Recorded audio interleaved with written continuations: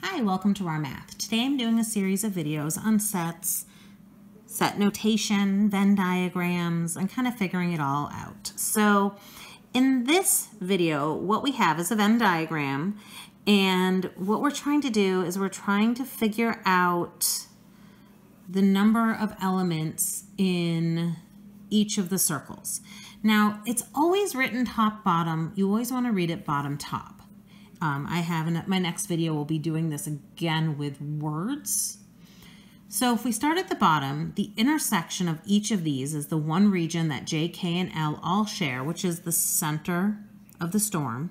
And it says that this has 11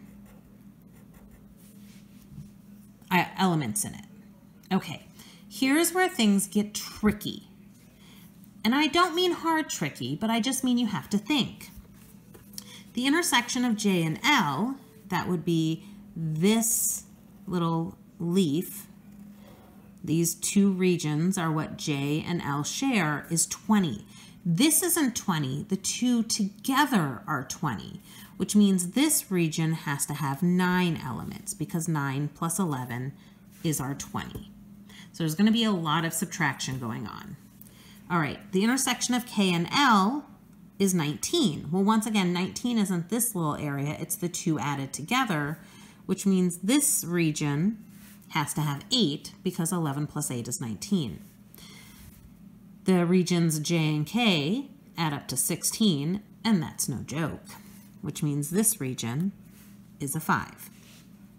Okay, L, this full circle, is 38.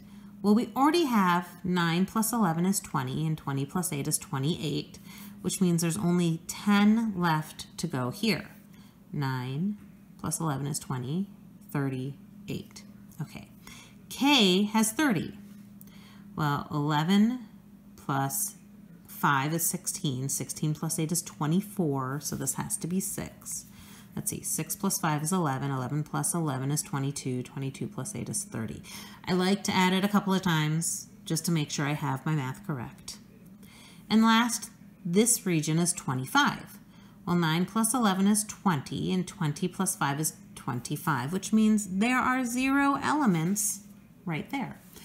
The region that is J and J alone does not actually have any of its own elements. Okay, it says, what is the name of the set of elements in only J? That is called an empty set. It's also called a null set. It's often symbolized like that. A set with no elements. Okay. Now it says the number in the intersection of A and B, intersection C complement. So let's see if we look at each of the numbers here as the number of elements in that region, then the intersection, huh, A, B, and C. Let's say A is J. Let's say B is K. And let's say C is L.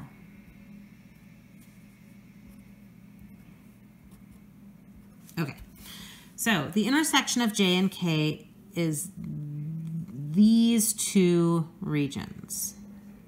So the intersection of J and K is the region that has five elements and the region that has 11 elements. The, we want the intersection of that with L complement, everything that isn't L. Well, everything that isn't L is the zero, the 5, and the 6.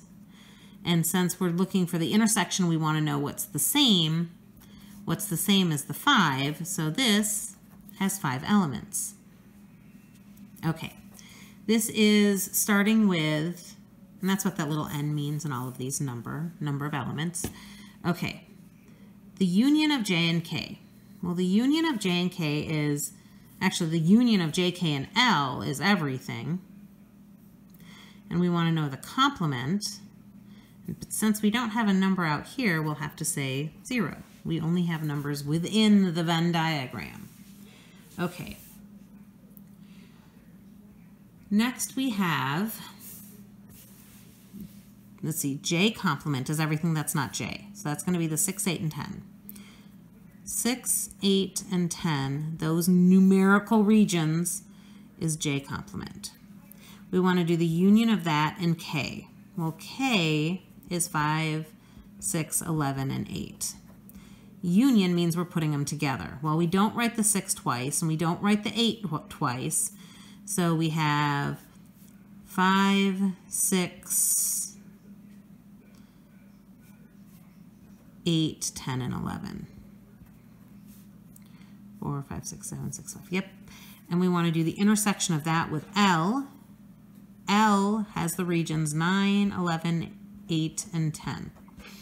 The intersection there is what they have in the same. So 5, 6, they both have an 8, they both have a 10. So the number of elements is 8 plus 10, or 18. All right, I hope you've enjoyed this video. Please subscribe to my YouTube channel, like my Facebook page, and I will see you on the next video. Thanks!